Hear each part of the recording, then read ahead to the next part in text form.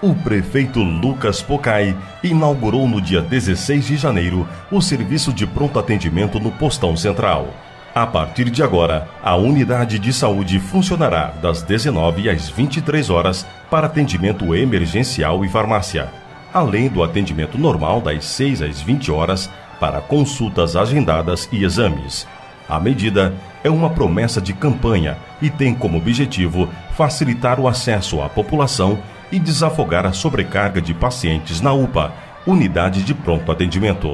Terá o atendimento médico, onde vai fazer eh, os exames laboratoriais, vai ter o eletrocardiograma, é, o, enfim, o que precisar, necessitar, vai ter que nem a UPA.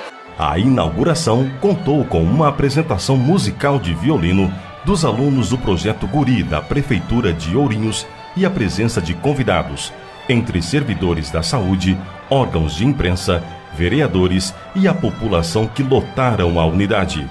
O prefeito Lucas Pocai agradeceu a presença de todos e disse que se sente muito feliz por realizar tantas ações benéficas em prol da população em tão pouco tempo de governo. O objetivo principal é nós darmos uma humanizada na saúde pública e podermos acolher de uma maneira mais eficiente e com uma resolutividade maior a todos aqueles que necessitam da nossa rede básica da saúde.